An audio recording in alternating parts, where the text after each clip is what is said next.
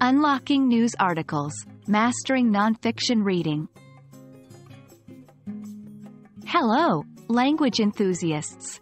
Today we're diving into the dynamic world of news articles. As a form of nonfiction, news articles can be an incredibly rich resource for English language learning, offering you a real-world, practical way to improve your reading comprehension. We'll cover what makes news articles unique and share some effective strategies for understanding them. News articles are pieces of writing about current events or topics. They're published in newspapers, magazines, and online platforms. News articles are factual and objective, providing readers with information about the world. Understanding the structure and style of news articles can help you improve your reading comprehension. Key components of a news article include Headline. This is the title of the article, designed to grab the reader's attention. Lead.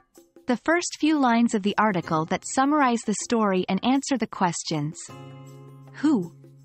What? Where? When? Body. This is the main part of the story with details, quotes, and background information. Conclusion. Often a wrap-up or a look to the future. Let's explore some strategies that can help you navigate and comprehend news articles better. 1. Predict and preview. Look at the headline and any accompanying pictures. What do you think the article will be about? 2. Skim and scan.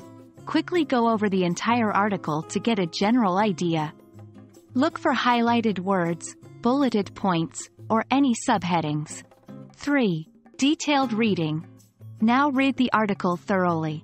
Take notes if necessary. 4. Identify the five W's and H. Who is involved?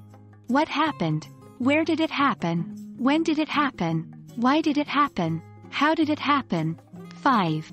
Reflect and review. Think about what you've read. Did you understand it? What was the main point? To enhance your understanding, familiarize yourself with common words and phrases used in news articles. Terms like allegedly, spokesperson, reportedly, launched, or announced often appear. Remember, when you encounter unfamiliar words, try to understand them from the context before reaching for a dictionary. And that's a wrap on reading news articles in English. Remember, practice is key. The more you read, the more familiar you'll become with the language and structure of news articles. We hope this video helps you in your English language learning journey. Keep practicing, and you'll master this skill in no time.